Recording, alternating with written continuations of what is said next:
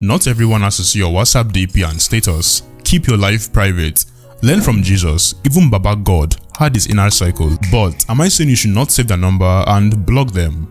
No. Open WhatsApp, tap on the settings, scroll up and look for privacy. Click on it. You are going to see profile photo. Click on profile photo. Now you can see here everyone, my contacts, my contacts except or nobody. Now click my contact. So only my contact can see my DP. You can even take it a step further by clicking nobody. Now go to your status. You will see this three dot icon on the left hand corner. Click on it.